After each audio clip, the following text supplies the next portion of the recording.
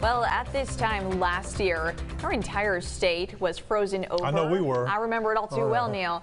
But in the stress and frustration of the winter storm, one East Texas couple was enduring it together and falling in love. All right, KETK's Lauren McGillis right now is here to share their story. Well, Neil, Sarah, Ryan Miller, and Casey Isbell were only two weeks into their new relationship when they thought they would spend Valentine's Day together and then call it a night. But that one night quickly turned into a week. Ryan Miller and Casey Isbell have a unique love story. I was like, hey, can you melt some snow so I can flush the toilet, please?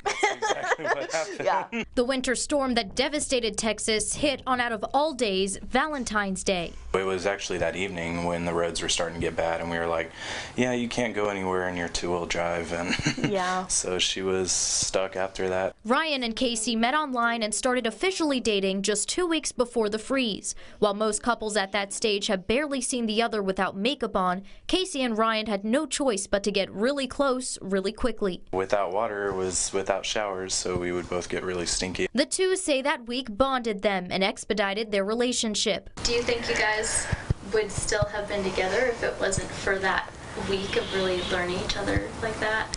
I don't know. I, I haven't thought about that.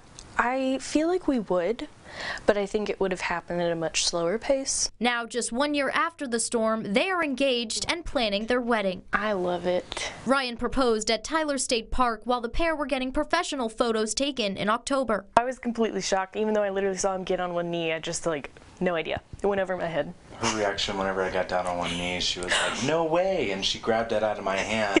During the freeze, the couple learned a lot more about each other and realized they had similar hobbies like playing video games.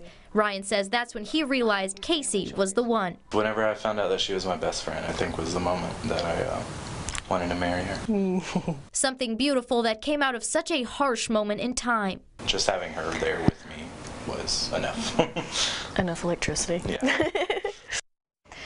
Ryan and Casey say since that week during the winter storm, they've spent every single day together. The longest they've been apart was 16 hours.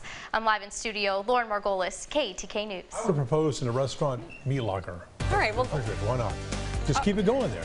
feel Hey, love in a hopeless place, Being, let me tell cool, you. baby.